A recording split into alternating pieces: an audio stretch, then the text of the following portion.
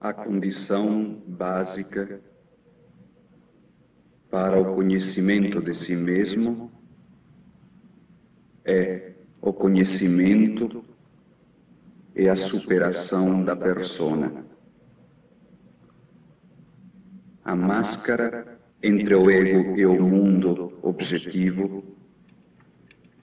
e entre o ego e o mundo subjetivo. Trata-se de nos colocarmos perante um espelho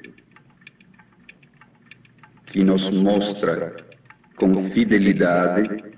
a nossa figura,